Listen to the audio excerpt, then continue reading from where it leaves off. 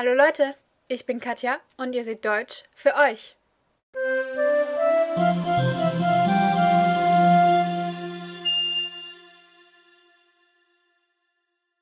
Today's episode is next Tuesday's episode.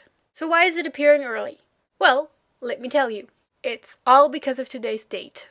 Anyone know what today is? Anyone without having Google do the thinking? Well, if you do, I'm both surprised and delighted. If you don't, no worries, I didn't expect you to. Let me reveal the mystery. Today is Tag der Deutschen Einheit, so the Day of German Unity, meaning our national holiday. You know, like the 4th of July, just that is not the 4th of July. I thought this would be a notable thing for a series like this, and it also happens to fall right perfectly onto episode 30. So you'll just have to live without a regular episode next week. Sorry. So today instead we're gonna have ourselves a little history lesson. What happened on the 3rd of October? Well, not that much really. You see, the event we celebrate on the 3rd of October, mostly by enjoying the fact that we have a day off if it's not on a weekend, actually occurred on November 9th in 1989, which means the fall of the Berlin Wall. So why not celebrate on the 9th of November? Well, like with a few other things, we have to thank good old Adolf for that one. He actually ruined the date twice, just to make sure.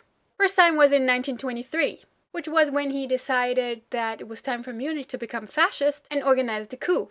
That didn't work out too well for him. But hey, they let him out of jail early and he still got to rule Germany 10 years later. That is also when he had the 9th of November become a national holiday, or commemoration day. Second time, and also the more important reason for not celebrating the date, he had his army of assholes burn down or otherwise destroy synagogues or other Jewish facilities, stores, etc.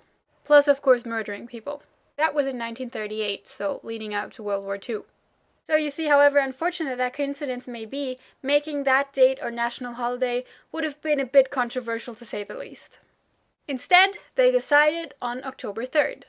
Since that was the day in 1990 when the GDR, bureaucratically and therefore officially, rejoined the rest of Germany to make the country complete again.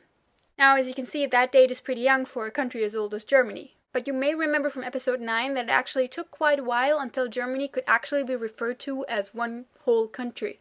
This didn't happen until 1871 to be exact. So since then, Germany has had a total of six different national holidays taking into consideration that during the separation both Eastern and Western Germany had separate holidays. Well, since 1990 we've stuck with the 3rd of October, and hopefully it's going to stay that way for a while. And the day has actually been celebrated officially every year since 1990 in one of the federal capitals.